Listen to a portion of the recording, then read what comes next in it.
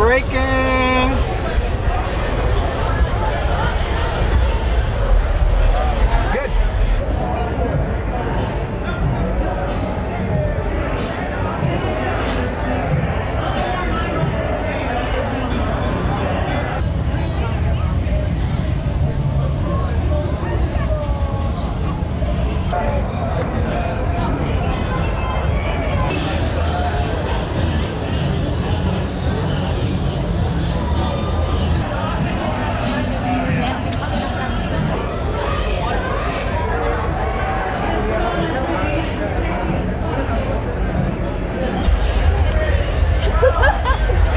menace is a good debate.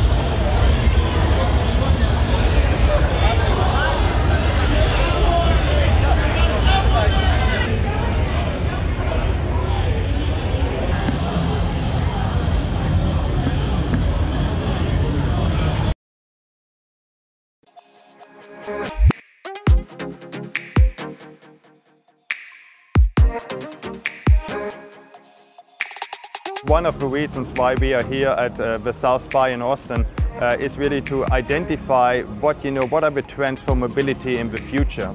Please help me welcome to the stage head of Daimler and Mercedes-Benz strategy and case, Wilko Stark. Our department looks into completely new ways regarding connectivity, autonomous driving, sharing and electrification. Just call it CASE. Trend here in South by Southwest, I think it's all about connectivity and technology. And this is what we want also to push forward within our case business unit within Mercedes-Benz. Artificial intelligence is absolutely crucial for self-driving cars. We talk about deep learning and therefore we already send you know, test fleets around the world uh, for our self-driving car development because the cars really have to learn different traffic conditions. Uh, this is actually what the future will look like. So the cockpit, you know, will be pretty clean, seamless, uh, a lot of digitalization, wide screens. And of course, when it comes to self-driving cars, uh, we probably don't need a steering wheel anymore.